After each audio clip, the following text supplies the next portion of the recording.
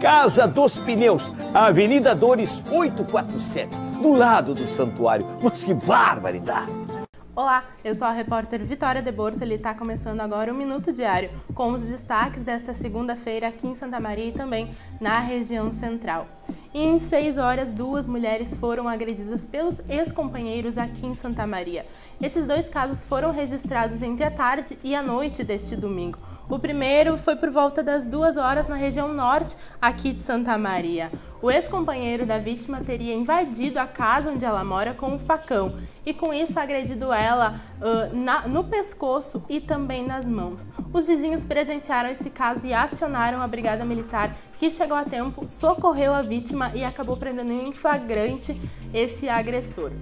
Uh, já por volta das 8 da noite de domingo, é, uma mulher ela foi agredida após o ex-companheiro invadir o apartamento onde ela mora na região central da cidade. Ele teria agredido ela a, a socos, chutes, pontapés inclusive tirado a roupa dela para que ela não pudesse fugir. Nesse caso, os vizinhos também presenciaram o crime, acionaram a brigada militar que socorreu a vítima, mas o suspeito fugiu. Ambos os casos estão sob investigação da Delegacia Especializada do Atendimento Mulher daqui de Santa Maria.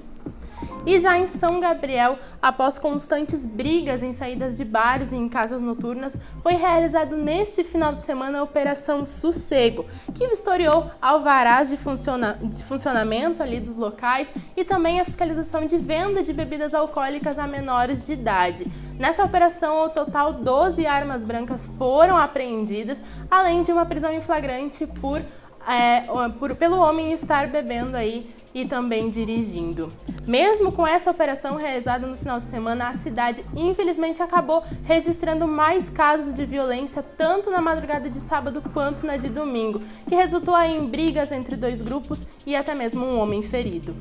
E aqui em Santa Maria começou hoje o Liquida Santa Maria, que são mais de 200 lojas participando dessa campanha que oferece até 70% de desconto em suas mercadorias. na nossa edição de hoje, impressa, e também no site, você confere quais são esses estabelecimentos para você não perder nenhuma oferta que deve durar essa campanha em duas semanas. E esses foram os destaques de hoje. Eu vou ficando por aqui e até mais. O Renato da Casa dos Pneus enlouqueceu. Mandou baixar os preços e aumentar os prazos. E tem mais, che.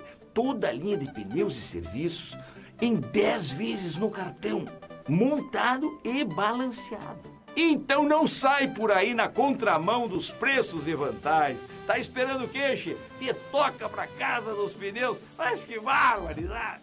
Na Avenida Dores, 847, do lado do Santuário Schoenstatt.